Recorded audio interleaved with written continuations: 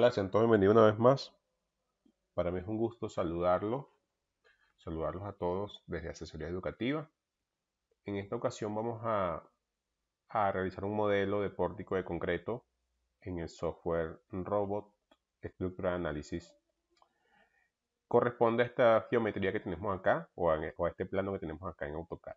Este plano lo pueden encontrar en el Classroom de Asesoría Educativa correspondiente al curso y vamos a ver los detalles de, esta estructura que vamos a modelar. Es un pórtico de concreto. Si vemos la planta está distribuida por luces de 4 metros en ambos sentidos, con cuatro ejes también en ambos sentidos.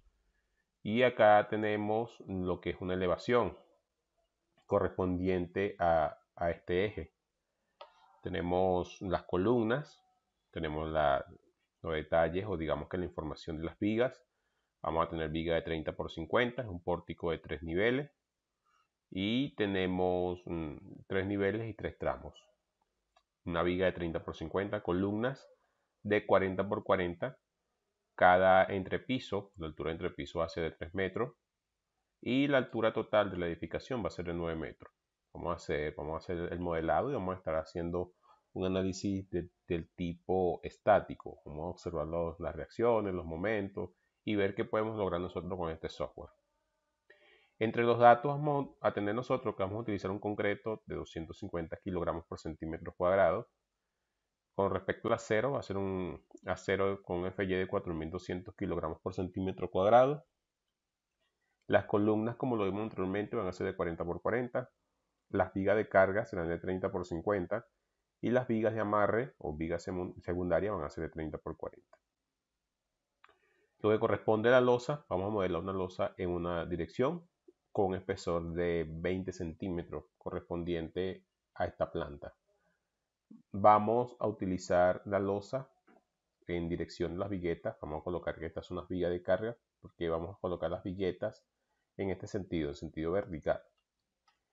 Mm, vamos a hacerlo por criterio así porque verdaderamente por relación de longitud, como es un sistema regular, un sistema regular, no implicaría dónde colocar las, las viguetas. Sería indiferente si la colocamos en este sentido en este sentido. Por la geometría sería igual. Entonces la vamos a colocar en el sentido, eh, hacia sentido Y. Vamos a colocarla todas hacia ese sentido Y. Y allí si hay que hacerle otra modificación, por ejemplo, dejar una fosa, o eso no está dentro del, del diseño preliminar, pero ya en el desarrollo pudiésemos estar evaluando cómo hace ese tipo de modelamiento. Bien, con esta información nos vamos a Robot Estructura de Análisis.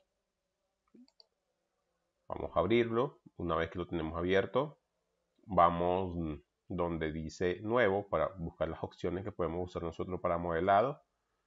Le damos Nuevo y automáticamente se nos van a, presentar lo que son las opciones que vamos a utilizar nosotros para modelado.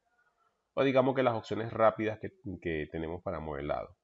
En esta ocasión tenemos para hacer diseño de edificaciones, mm, pórticos espaciales, este para edificios, como dije anteriormente, este para láminas, eh, celosía espacial, este diseño de placas, pórtico plano, este para mm, emparrillado, aquí vamos a encontrar celosía planas, este es para estructura volumétrica, en caso de hacer algún tipo de muro, Acá vamos a encontrar estructuras en tensiones planas, estructuras en deformaciones mm, planas.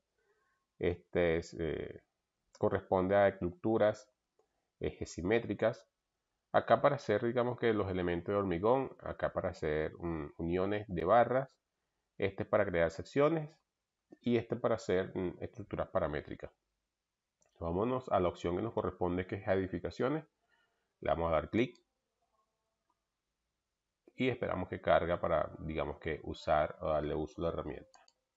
Bien, como ya hemos conversado en los cursos anteriores, esta interfaz. Ya pudiesen estar familiarizados con el tema, con el, tema de la interfaz del software. Sin embargo, eh, le, le doy un recorrido que acá en la parte superior vamos a encontrar nosotros lo que son las barras de herramientas para modelado. Aquí tenemos unas herramientas rápidas para guardar, exportar, acercar de visualización. Y vamos a tener acá eh, en esta parte un menú de, selección. Acá nosotros podemos seleccionar nudos o nodos y barras también podemos seleccionar. Y en esta parte lo vamos a ir observando cuando se activen, que es para visualizar las cargas, las plantas, modificar plantas. Tenemos el inspector de objetos. En el inspector de objetos tenemos eh, las plantas o digamos que vamos a visualizar todo lo que estemos modelando acá en la ventana de trabajo. En la parte lateral derecha tenemos las opciones de modelado como para crear vigas, mm, pilares o columnas, mm, losas de planta, muros, eh, huecos, huecos en los muros, este para crear mm, secciones. Ya vamos a ver también para qué funciona esta, este para crear espesores. Aquí podemos ver los material o material Acá podemos nosotros visualizar los apoyos o modificar los apoyos y aquí casos de carga. Y vamos a ver otras opciones acá también que nos van a servir a nosotros para modelar. Bien, acá tenemos lo que es el, la barra de atributos, donde nos permitirá a nosotros visualizar las opciones de atributos para, eh, digamos que, manipular lo que es nuestro modelo, ¿sí? O ver algunas opciones allí. Como vemos en la parte inferior, tenemos que, mm, esto es cuando, para cuando hagamos los cálculos, vemos que el software trabaja por resultados o por el método de los elementos finitos. En este caso el resultado está ausente porque aún no hemos calculado. Y acá tenemos el sistema de unidades.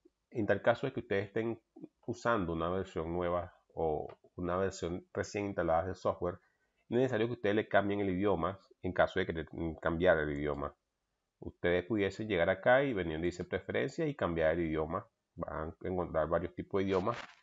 Por defecto viene con el idioma inglés o británico.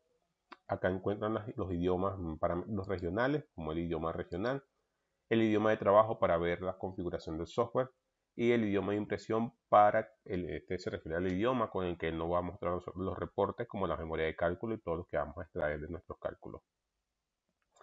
En este caso tengo español, si ustedes quieren trabajar en inglés. Mm, yo recomiendo que trabajen en inglés por temas de profesionalismo, porque en caso de que lleguen algún, en algún momento ustedes como profesionales lleguen a, a, certificarse como auto, con Autodesk Robot, las pruebas se las van a hacer en inglés y no en, castellano o español. Mm, es recomendable que lo, lo hagan en inglés o lo usen en inglés. Sin embargo, para efecto del, de, digamos que, del curso, para conocerlo y familiarizarnos, vamos a trabajarlo en español. Bien, para comenzar, vamos primeramente acá, vamos a definir las unidades con las que vamos a trabajar primeramente. Hay dos opciones, acá tenemos el sistema de unidades, podemos darle clic y automáticamente nos aparecen las unidades. También podemos venir donde dice herramientas, preferencias para el proyecto y acá también tenemos las unidades. Vamos a hacerlo de una manera acá directa. Llegamos acá y revisaremos las unidades.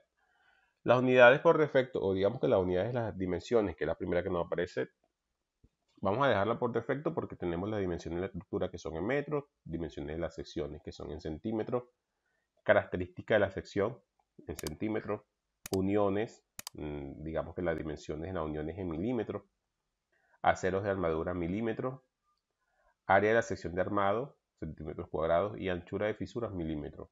En este caso, o en este lado de, esta ventanita que tenemos acá, que tenemos acá, podemos nosotros definir la precisión con la que queremos que nos muestren las unidades. Podemos aumentar mm, la cantidad de decimales o podemos disminuir. En este caso lo dejaré por defecto. Podemos pasar a la sala de esfuerzos para verificar los esfuerzos. Vemos que por defecto nos aparecen kilonewton metro, que es la opción que tenemos acá, kilonewton metro. En este caso vamos a trabajar en kilogramos centímetros. Vamos a trabajar la fuerza, la vamos a ver en kilogramos fuerza. Los momentos lo vamos a ver en kilogramos fuerza metro. Le vamos a dar clic acá en esta opción de los tres botones. Llegamos fuerza, kilogramos fuerza metro. Y la, la, unidad de longitud, tenemos la unidad de fuerza, la unidad de longitud, está en metro. Vamos a darle OK.